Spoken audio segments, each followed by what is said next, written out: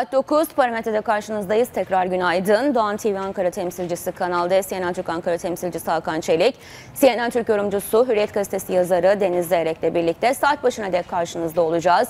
Günün gelişmelerini yorumlarıyla sizlere aktarmaya, iletmeye çalışacağız. Soçi'de e, bugün liderler bir araya geliyor. İran Cumhurbaşkanı Ruhani, Cumhurbaşkanı Erdoğan ve Rusya Devlet Başkanı Vladimir Putin hem öncesinde Dışişleri Bakanları ve Genelkurmay Başkanlarının yaptığı görüşme sonrasında bugün e, Soçi'de liderler buluşması var. E, gündem Suriye e, ve e, acaba bu görüşmeden hangi başlıklar, hangi konular e, çıkacak? Bunun öncesinde de şimdi Türkiye siyasi çözüme doğru masada PYD, YPG'nin yer almaması konusunda kararlılığını bir kez daha gündeme getirecek. DAEŞ'le mücadele bitti diyor e, İran ve Rusya. E, şimdi siyasi çözüm masada. Önümüzdeki günler hangi gelişmelere gebe? YPG'nin kontrolündeki Afrin Türkiye için kritik önemde. Oranın terörden temizlenmesi öncelikli hedef. İdlib'de kontrol noktası kurulmuştu iki tane. Ee, yine Afrin'e yönelik e, 12 noktanın oluşturulması planlanıyor. Bütün bunlar masada, bütün bu gelişmeler masada olacak. Bir yandan da Putin Esad'la görüştü dün itibariyle. Bu liderler zirvesi öncesinde hem Esad'la görüşme gerçekleşti hem de e, ABD Başkanı Trump'la telefonla görüştü Vladimir Putin. Esad'la görüşmeden yansıyan fotoğraflar e, sarılarak e, görüşmenin sonunda vedalaşma e, bu görüntüler dünya basınına e, yansımış durumda. Peki ne konuşuldu? Siyasi sürecin ana hatlarının belirlenmesi gerekiyor artık. Bu noktada e, siyasi çözüm üretmeye herkesle diyaloğa hazırız mesajı veriyor Esad. DAEŞ'le mücadele bitti, bir zafer elde edildi. Şimdi masada siyasi çözüm var diyor e, Rusya lideri. Bunun için de temasların arttığı, arttığını belirtiyor. Peki e, siyasi çözümde ne olacak? Esad'la görüşme, Trump'la yapılan telefon görüşmesi ve bugünkü liderler zirvesi sonucunda ne bekleniyor? Bütün bunları konuşacağız. E, tabii Putin-Trump e, konuşmasında e, gündemde Suriye vardı ama e, bunun dışında İran, Kuzey Kore ve Ukrayna gibi sorunlu bölgelerde yine değerlendirildi. Ama bu arada tamam terör DAEŞ'le mücadelede işte önemli başarılar kazanıldı diyor İran. Ruhani zafer ilanı yapıyor ama ABD YPG'nin ana omurgasını oluşturduğu Demokrat Suriye güçlerine yeni silah ve araç gönderiyor. Ee, öyle ki Demokratik Suriye güçlerine YPG'nin ana omurgasını oluşturduğu güçlere ağır silahların yanı sıra 120 zırhlı Hammer Jeep'in de gönderildiğini e, görüyoruz. E, dolayısıyla Hammer 4x4'ün de gönderildiğini görüyoruz. E, dolayısıyla bütün bu silah yardımları da ne anlama geliyor bakacağız. E, 17-25 tezgahını Amerika'da kurdular diyor Cumhurbaşkanı Erdoğan grup toplantısında konuştu.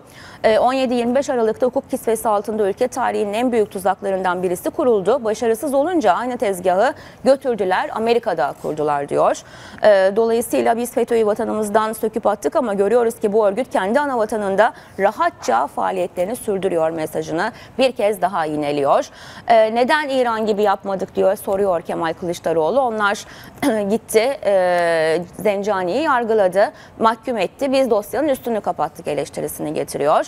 Ee, yine AK Parti grubunda Manisa Salihli İlköğretim Okulu öğrencileri vardı. Onlar da grup toplantısını izledi. Ve Cumhurbaşkanı ile robot yarışmasında birinci olan öğrenciler bir de selfie çektirdi. Bu görüntülerde düne siyasi gündeme yansıyan görüntülerdi. Bir yandan da Beşiktaş maçı izlendi. Ee, Beşiktaş Avrupa'yı sallıyor. Siyah beyazlı ekip Şampiyonlar Ligi'ndeki 5. maçında Porto ile 1-1 berabere kaldı. Bu sonuçla Kartal tarihinde ilk kez bir maç kala e, gruptan çıkmayı garantilemiş oldu. Son 6'ya 16'ya kaldı.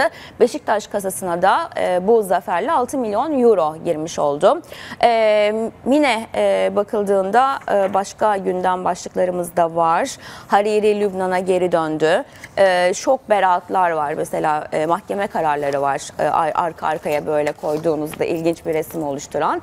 E, bütün bu gelişmeleri konuşacağız. Trabzon'da sahte diplomayla 19 yıl öğretmenlik yapan e, Rukiye e, GS için 12 yıla kadar hapis istendi. Mahkeme dün delil yok dedi, beraat verdi ama öğretmenliğe dönemeyecek. Hani iyi bir tarafı da var. Başlıklar böyle, ayrıntılar, yorumlar gelsin. Günaydın Ankara, Hakan Çelik, Deniz Erek. Günaydın. Günaydın, merhaba. Şimdi Soçi'de bugün liderler zirvesi var. Gündem Suriye ama e, tabii bir yandan da Afrin kritik, e, İdlib'deki kontrol noktaları, YPG'nin masada olmaması, muhalefette, muhalif durumda ne olacak? Türkiye kuzeyinde bir terör oluşumuna, koridoruna izin vermek istemiyor. Böyle konular var ama onun öncesinde Esad Putin'le görüştü ve Trump'la da telefonla görüştü. Bütün bunların anlamını alt alta getirdiğinizde resmi bize çizmenizi rica etsek bugünkü zirve için ve öncesinde yapılan temaslar için e, anlam ve önemine binaen ne söylersiniz?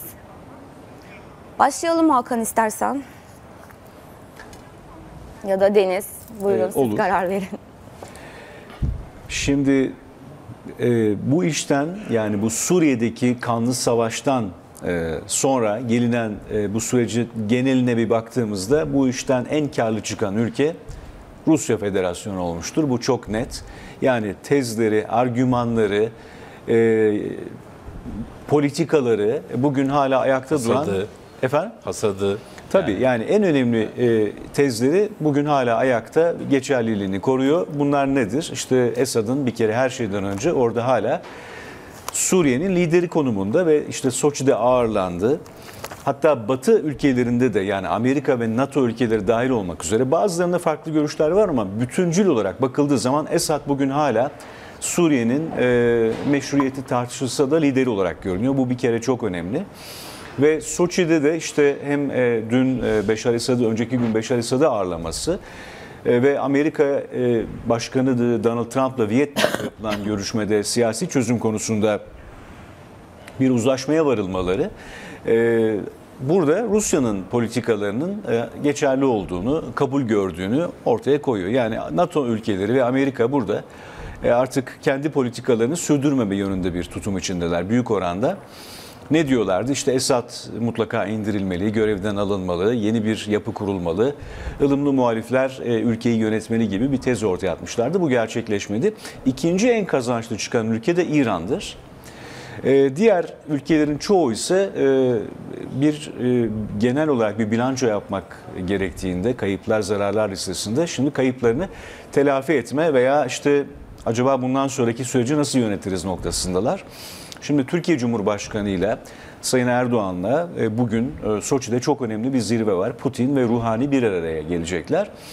Bu tabii Türkiye açısından bakıldığı zaman Artık e, birinci önceliği Türkiye'nin Türkiye Suriye'nin toprak bütünlüğü ve bu Suriye'nin toprak bütünlüğü çerçevesinde de Türkiye'ye yönelik bir ülkenin kuzeyinde bir terör kuşağının oluşmaması, yeni bir otonom bölgenin veya devletin oluşmaması asıl pazarlıklar ve konuşmalar bu noktalarda geçiyor Türkiye bakımından bakılacak olursa. Tabii Suriye'nin istikrara kavuşması, Türkiye'ye gelen insanların önemli bir bölümünün eğer dönebileceklerse istikrar sağlandıktan sonra Suriye'ye dönmeleri önemli konular arasında. Bunlar arasında alt başlıklar var. Afrin gibi, İdlib gibi bunlar Türkiye'nin güvenliği bakımından da çok önemli e, noktalar. Çok büyük oranda e, Rusya'nın e, koordinasyonunda gerçekleşecek gibi görünüyor bundan sonra yeniden inşası. Ve ama bugün yani özellikle Soçi'den çıkacak olan kararlar önümüzdeki birkaç yılın nasıl şekilleneceği konusunda bize ipuçları verecek. Anladım. Bir yandan da YPG'ye silah desteği Amerika'nın devam ediyor. Trump'la ne konuştu Putin, Esad'la ne konuştu? DH bitti mi? Siyasi çözüm masada. Esad'la bir siyasi çözüm mü? Muhalif de, muhalefetten kim olacak, ne olacak? Bütün bunlar mı şekillenecek? YPG'ye niye, niye silah gidiyor Evet, DH'la şu anda- mücadele? De zafer kazanıldıysa Ruhani'nin ilanı gibi. Şu anda e, önümüzdeki Suriye haritasına bakacak olursak e, üçlü bir yapı var. E, Bunun bir kısmı ki büyük bir kısmı Irak ve Türkiye sınırında kalan ve işte Rojava diye adlandırılan o bölge Kobani'den başlıyor. Türkiye Suriye sınırında Kobani'den başlıyor. Ee, Suriye-Irak sınırında e, Fırat Nehri'ni takip edersek eğer Deir Zor e, şehrinde bitiyor. Onun doğusunda kalan e, yani hem doğusunda hem kuzeyinde kalan bölge YPG tarafından ve Amerika tarafından kontrol ediliyor. O bölgede Amerika'nın işte hani kendilerine göre daha az ama özellikle e, Türk istihbaratının verdiği bilgiye göre 12 üssü var. Yani Amerikalılar o bölgede 12 hava üssü kurmuşlar. Yaklaşık Amerikalılar 500 askerimiz var diyor ama yine iddiaya göre 4000 askerleri var.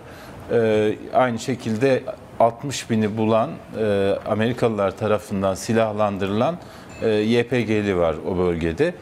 E, Fırat Kalkanı çerçevesinde işte Cerablus'tan Azez'e kadar olan kısımda 2000 kilometre karelik bir alanda Türk Silahlı Kuvvetleri ve Özgür Suriye Ordusu var.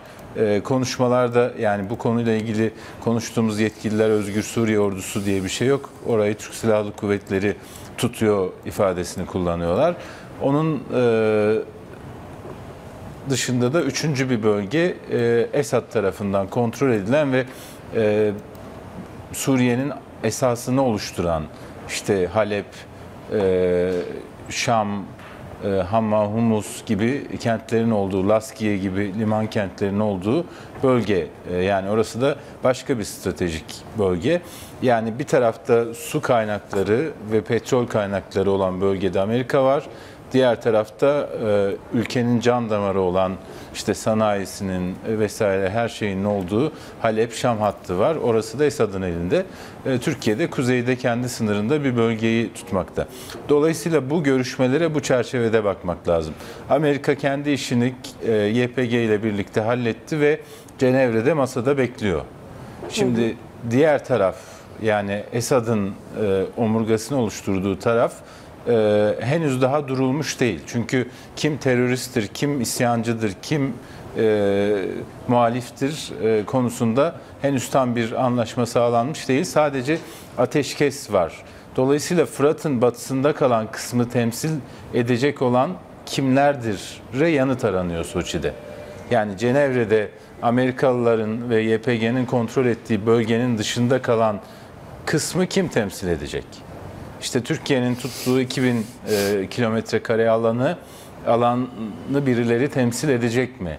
E, bu sorulara yanıt aranıyor. E, Putin'in e, buradaki şeyi de başrol oyunculuğu. Çünkü her tarafla görüşebilen bir tek o var. Yani Amerika İran'la görüşmüyor. Amerika Esad'la da görüşmüyor. Türkiye Esad'la görüşmüyor. İran'la görüşüyor. Rusya'yla görüşüyor.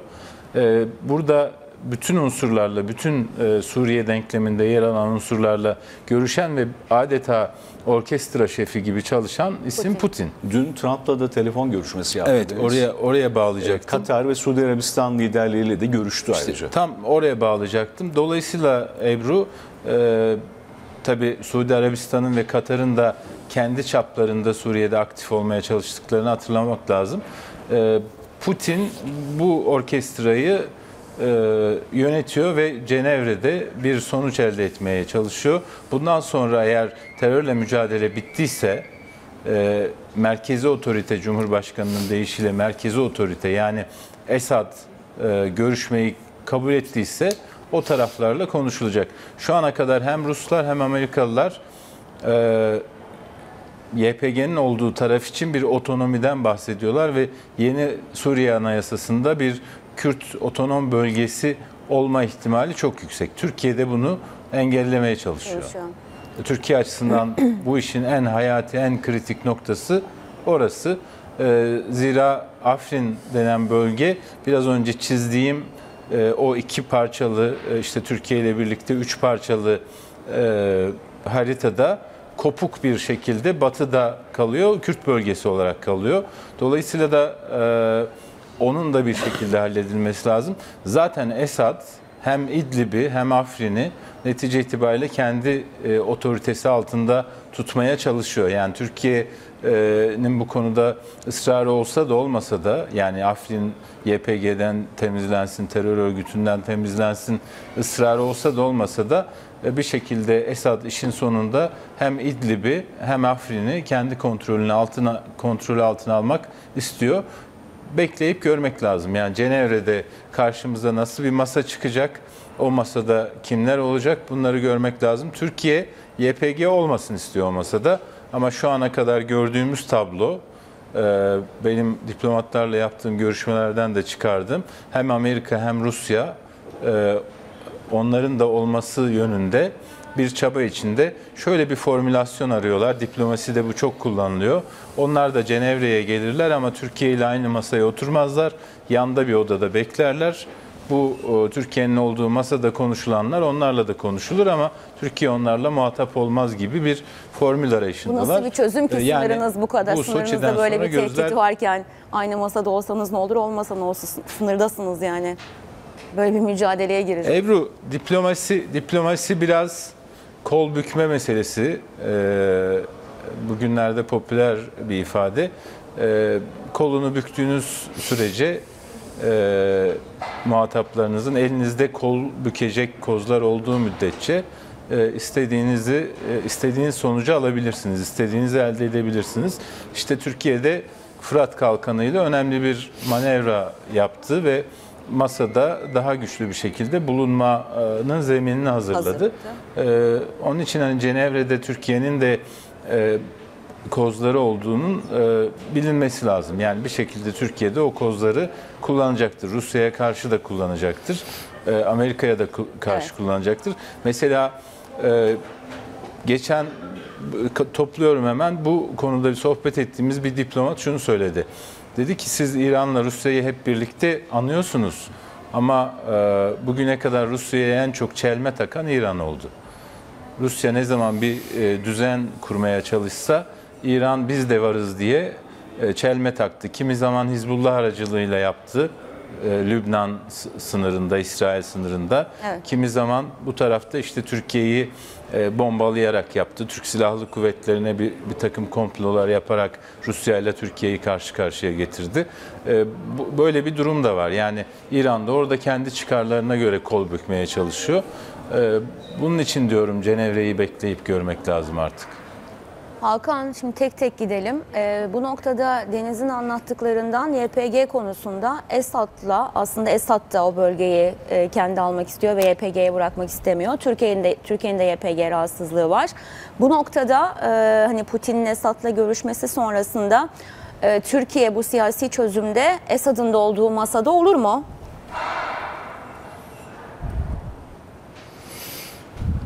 Şimdi Türkiye iki seçenek, iki tane istemediği seçenek var Türkiye'nin vardı.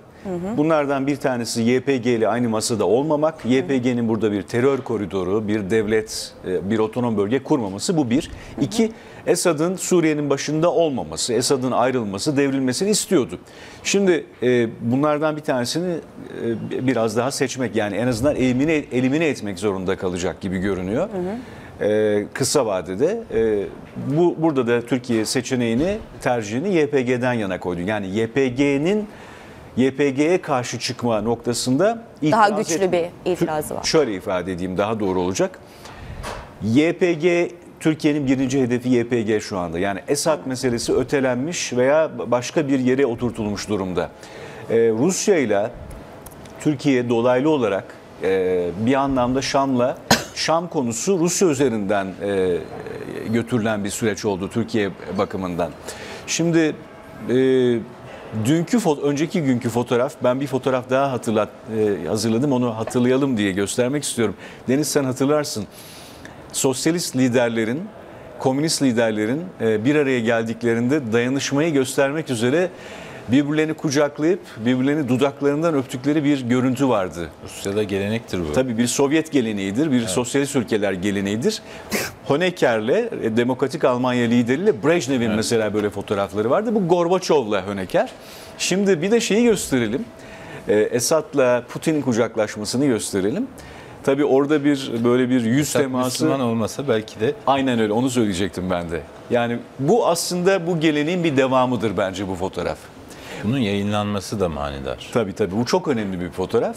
Yani bu hem Rusya'nın bak ben kendi isteklerimi yaptırdım fotoğrafı hem Esad'ı kurtardığım ve belli oranda meşruiyetini devam ettiriyorum fotoğrafı. Şimdi Türkiye bu tartışmaya girmiyor. Bir kere onu söyleyeyim. Yani Türkiye Bence bence ilkesel olarak Cumhurbaşkanı Cumhurbaşkanı ilkesel pozisyonunu koruyor. merkezi otorite ifadesini kullandığından beri bu tartışma kapandı bence. Bir şey daha hatırlatayım sana. Başbakan Binali Yıldırım başbakanlık görevine geldikten sonra mealen söylüyorum kelimeler biraz daha farklı olabilir ama Beşar Esad'ın bir Suriye gerçeği olduğunu söylemişti. Hatırlıyorsun değil mi o ifadeyi? Yani bu ikisini bir araya getirdiğimizde Esad'ın indirilmesinin ve bir an evvel görevden uzaklaştırılmasının Türkiye'nin birinci önceliği olmaktan çıktığını söyleyebilirim. Tabii. Yani mesela hava sahasının açılması da artık Rus uçakları direkt Suriye'ye desteğini Türk hava sahasından yapıyor. Yani Evet. hatta bir ara biz e, dün baktık e, e, Esad acaba Soçi'ye Türk hava e, hani Türk hava sahasını kullanarak Sahasını uçmuş olabilir mi diye bazı haritalar baktık, evet. yayınlandı. Ee, öyle değilmiş. İran'dan Evet. gitmiş, İran üzerinden gitmiş. Ama netice itibariyle artık bunlar konuşulmaya Yani başlandı. o hürriyette çıkan e, fotoğraftaki birinci sayfadaki uçakta acaba Esad mı vardı sorusu soruldu ve harita yayınlandı. Türk hava sahasını kat ettiği için. E, ama Türkiye için bu mesele şu anda birinci derecede sıcak e, konu değil. Birinci mesele Türkiye'nin YPG da. konusu. Bence kapandı da. Yani Cumhurbaşkanı merkezi otorite ifadesini kullandıktan sonra bu Esad meselesi tartışması e, kapandı. Türkiye Esad'la aynı masaya oturmaz, el sıkışmaz. Ama Esad'ı artık Suriye'nin gerçeği olarak e, kabul etmekte. Yani tam kapandı mı ondan emin değilim Deniz ama epeyce bir ötelendiği kanaatindeyim. Ben çünkü şu anda daha sıcak mesele. Ee, Yani bu kadar yanan bir coğrafyanın ortasında yani bir Peki orada YPG konusunda şöyle bir durum var. Esad burayı kontrol etmeye devam etsin. Evet, Böyle şöyle- bir bakışı var Ebru. Yani tekrar edeyim de bu önemli bir ifade. Tamam. Burayı YPG kontrol edeceğine Esad kontrol etsin. Ha, işte onu yani sormaya hükümet, çalıştım. devlet, Şam güçleri ama bu Ha bu Türkiye'nin yani e, Esad'a bayıldığı, Esad'la bütünüyle barıştığı, Yani tokalaştığı anlamına da gelmiyor. ehvenişer e, Ebru. Kötü seçeneklerden birinin tercih edilmesi noktasında. Ehvenişer dış politikası izliyoruz. Yani Kötünün kötünün iyisi. Ee, evet yani kötüler arasından biraz daha iyi olanı tercih Ha, eden. Burada bir çünkü. Türkiye'nin tercih ettiği, planladığı ve beklediği şey gerçekleşmedi. Amerika Birleşik Devletleri'nin ilk dönemde ve Türkiye'nin de istediği şey, batılı müttefiklerinin de Esad'ın birkaç haftalık zaman dilimi içinde görevden ayrılacağı gibi bir plan kuruldu, bir e, tahmin yapıldı. Onun üzerine strateji geliştirildi ve bu stratejinin B planı da pek yoktu. Yani bütünüyle A planı üzerinden gidildiği ve beklenti çok yüksek bir çıtada yakalandığı için, oturtulduğu Yani evet için işte o e, Emevi Camisi'nde cuma namazı kılacağız e, noktasına koymamak gerekiyordu çıtayı. Evet yani orada dönemin e, Dışişleri Bakanı'nın Sayın Ahmet Davutoğlu'nun açıklamaları vardı ve Evet. o günkü tahminleri çok kısa bir süre içinde görevden indirileceği, ayrılacağıydı. Bu olmadı. 6 sene geçti, çok kanlı bir savaş oldu. 1 milyona yakın insan hayatını kaybetti ve büyük bedeller ödendi. Evet. Ve Putin'den teşekkür aldı Esad. Yani o dönem bambaşka bir şekilde bambaşka bir şekilde gelişti. Rusya'nın bu kadar ağırlığını koyacağı, İran'ın bu kadar ağırlığını koyacağı ve Esad'ın da bu çatışmalara bu kadar direneceğini hesaplamadılar. Ee, Şimdi burada burada şöyle bir şey var. Ben e, ya maalesef Esad'ın barbar olduğu, işte halkına kötülük ettiği, katliam yaptığı bir gerçek. Ama e, sonuçlara baktığımızda şu anda ortaya çıkan tablo Esad'ın kendi halkına verdiği zarardan kat kat fazla bir zararı gösteriyor. Milyonlarca insan evinden oldu. Yani biz 3 milyon Suriyeliden bahsediyoruz Ebru. Daha bunun Ürdün'e gideni var, Lübnan'a gideni var. Yani 10 milyona yakın Suriyeli evinden oldu. 1 milyona yakın Suriyeli öldü.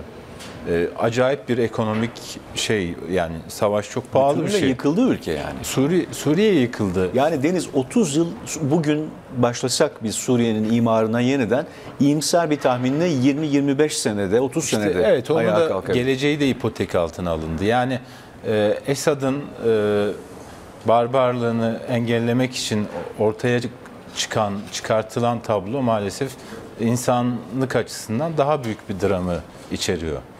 E, bu- bunu söylemek lazım. Ya benim aklıma hep o çok da severim ve burada da sık sık tekrarlamışımdır. Yani tamir etmesini bilmiyorsanız, toplamasını bilmiyorsanız bozmayın diye bir söz var. E, Biz biraz Suriye'de onu yaptık. Yani bütün dünya o zaman Türkiye de içindeydi, Amerika'da vardı, işte Avrupa Birliği de vardı. Esad'ı göndereceğiz diye Suriye'yi bozdular ve şimdi de e, toparlayamıyorlar, tamir edemiyorlar. Etmeye çalışıyorlar ama o e, faturası da çok ağır. Ama- en çok en büyük faturası da Deniz şunu Suriye da, halkına. Şunu da kesildi. söylemeliyim. Yani bu Suriye'nin bozulması noktasındaki en büyük kabahat de, kusur da, suç, sorumluluk da Esad'tadır. Yani kendi ülkesinin bu hale gelmemesini sağlayabilirdi.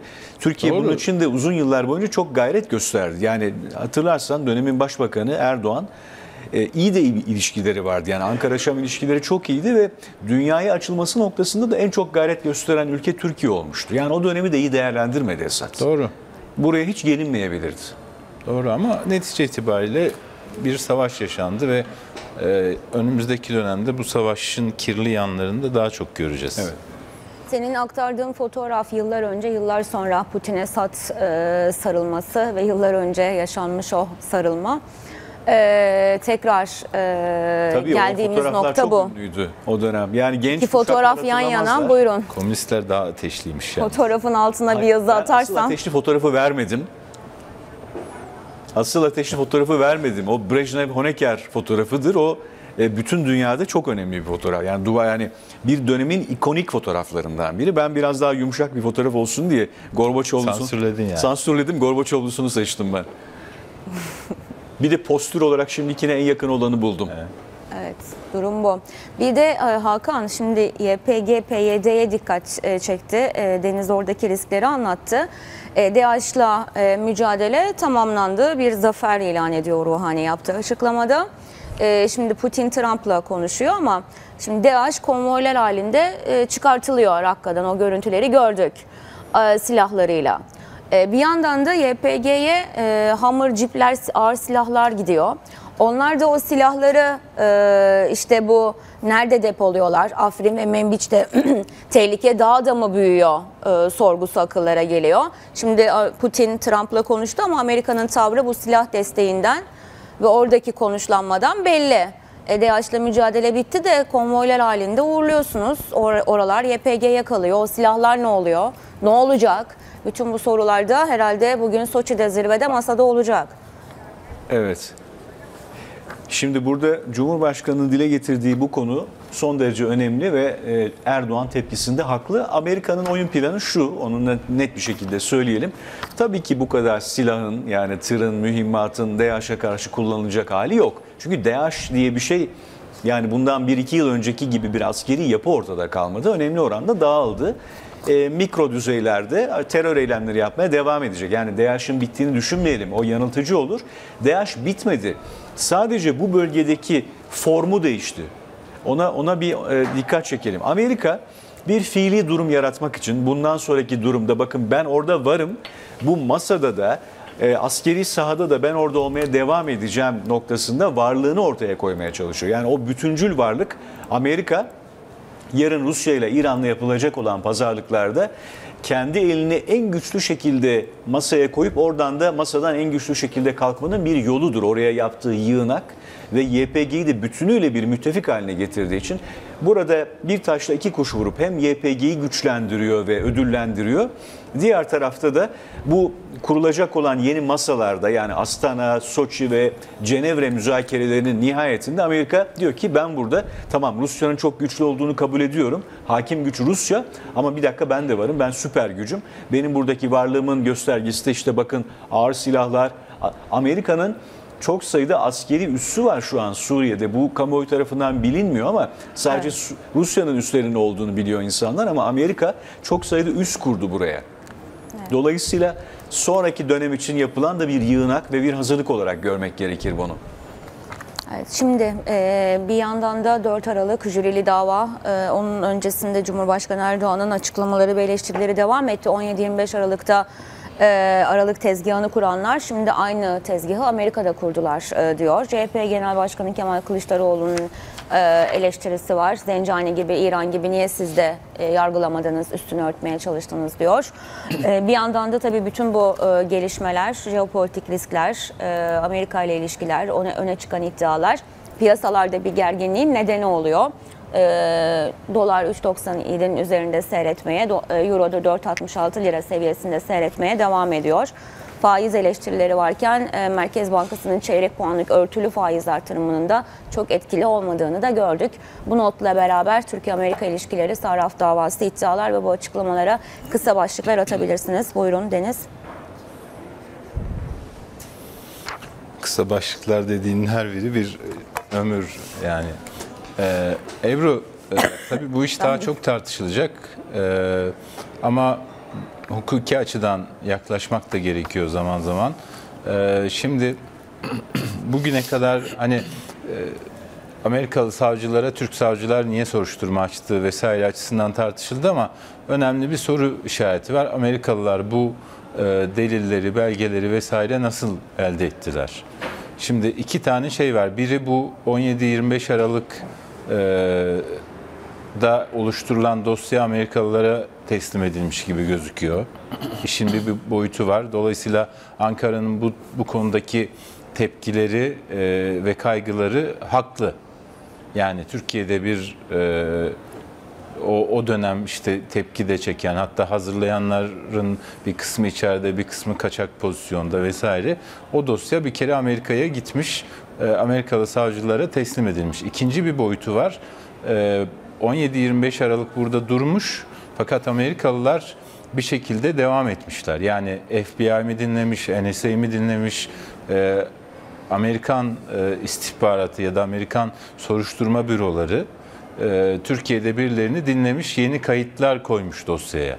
Yani bunlar e, ne boyuttadır, kimler dinlenmiş, ne kadar dinlenmiş, e, ne tür yazışmalar Evet. e, elde edilmiş bu soruşturma sırasında. Belli ki e, 17-25 Aralık'tan sonra da o, o davanın yani Amerika'da şu anda New York davası denen davanın e, zanlılarının e-mail trafikleri, telefon trafikleri e, bir şekilde takip edilmiş.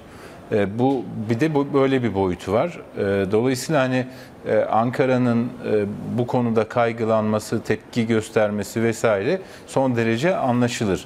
Ama dediğim gibi yani bunun da bir çizgisini iyi koymak lazım. İşte Abdülkadir Selvi yazdı, e, Taha Akyol yazdı. Yani işte Abdülkadir'in yazısında Enerji Bakanı Berat Albayrak'ın öyle düşündüğü ifade edilmişti. Yani bu işi e, Zarrab'ın ve bir grup insanın e, ambargoyu aşmak için e, kişisel olarak işlediği suçlar olarak da görmek mümkün mü acaba? Hani Türkiye'nin seçebileceği yollardan bir tanesi de bu mu acaba sorusunu dile- gündeme getirdi Abdülkadir. E, bunlara da bakmak lazım ama şu ana kadar ortaya çıkan tablo Türkiye bu New York davasında tarafmış gibi bir tavır ortaya koymuş vaziyette. Dolayısıyla da Amerikalılar da Türkiye tarafmış gibi konuşmaya başladı. İşte Amerikan e, Dışişleri Bakanlığı Sözcüsü'nün dünkü açıklamaları biraz e, bana onu düşündürdü, onu hissettirdi. Yani artık Türkiye'nin açıklamalarından yola çıkarak e, bir noktada Türkiye'yi taraf taraf olarak görmeye başlamışlar Amerikalılar. Şunu da unutmamak lazım. Hani hep siyasi dava vesaire diyoruz ya. Ya Amerika'da e, hani siyasi bir davayı kim Evet. yönlendiriyor sorusunun da yanıtını ortaya koymak lazım. Şimdi Amerika'da şu anda siyaseten iktidarda Trump var, Cumhuriyetçiler var. Siyasi derken bu mu kastediliyor? Yani Amerika'daki Cumhuriyetçi yönetim, Trump yönetimi Türkiye'yi zora sokmak mı istiyor? Bunu Amerikan yargısı üzerinden mi yapmak istiyor? Bunların da yanıtını biraz kamuoyuyla paylaşmak lazım ki Amerikan yargısıyla Trump'ın da başı dertte. Yani Trump da en yakın adamlarını e, zor kurtardı. İşte kampanya e, başkanı e, gözaltına alındı FBI tarafından. İşte ki, bir, bir şekilde neredeyse tutuklanacaktı. Trump'ın ilk başta Ulusal Güvenlik Konseyi'nin Ulu- Ulusal Güvenlik Danışmanı ilan ettiği Flynn e, el çektirildi ve bir, ciddi bir FBI soruşturmasının zanlısı durumuna düşürüldü. Yani Trump da Amerikan yargısını siyaseten kontrol edebilecek bir noktada değil. Onun için hani siyasi dava ama kim hangi siyaset var bu davanın arkasında ve o siyaset Amerikan yargısını nasıl yönlendiriyor ona da bakmak lazım. Yani bunu Trump mı yapıyor, Cumhuriyetçiler mi yapıyor yoksa onlar iktidar olamadı, iktidar oldu ama muktedir olamadı. Asıl muktedirler Amerikan derin devleti mi yapıyor? Bu mu kastediliyor? Bunları da ortaya koymak lazım. Yani bunların da isimlendirilmesi lazım. Evet siyasi bir davadır. Ama kim yapıyor? Arkasındaki siyasi güç kim?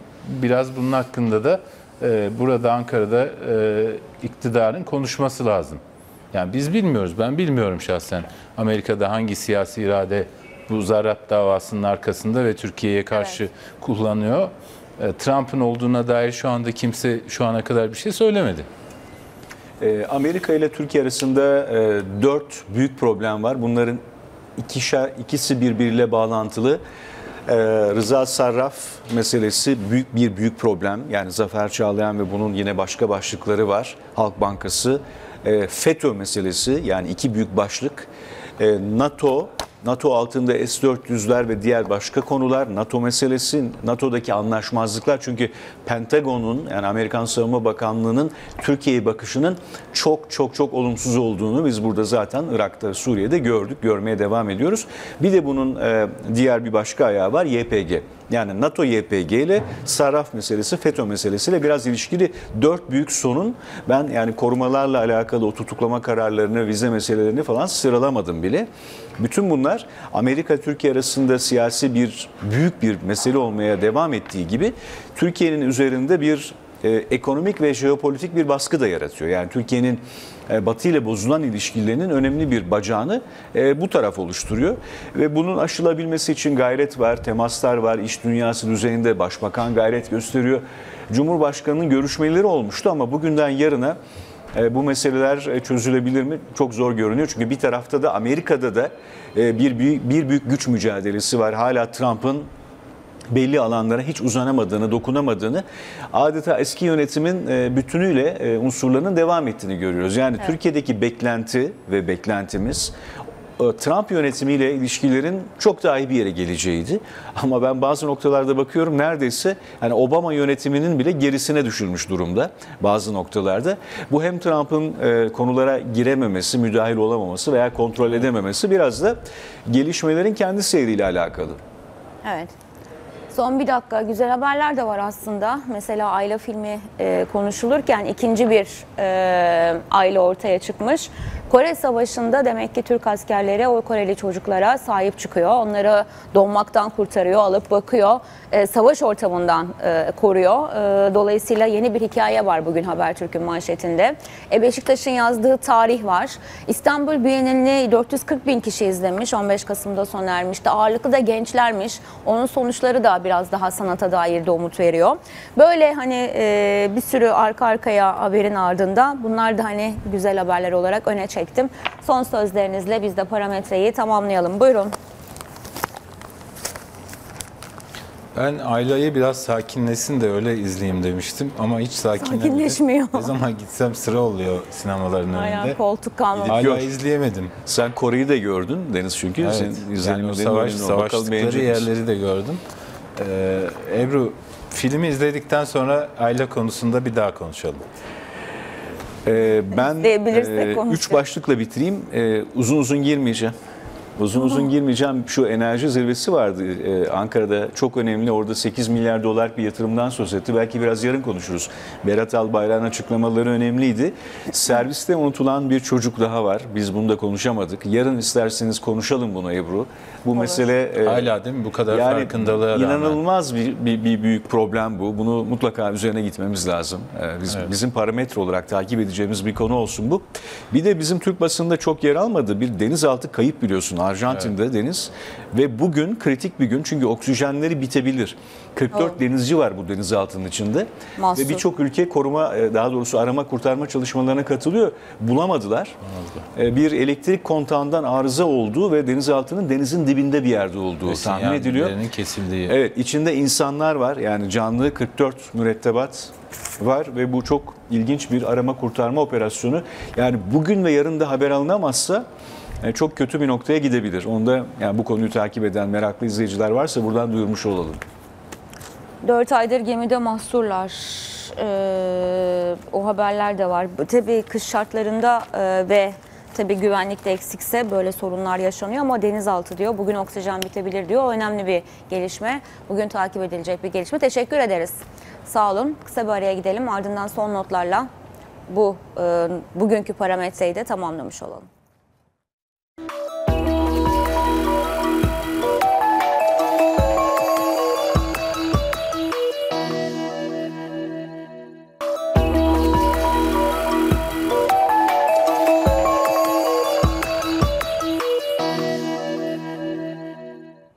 Noktalıyoruz parametreyi. Ee, yarın sabah 8.45'te görüşebilmek umuduyla. İyi bir gün olsun. Hoşçakalın.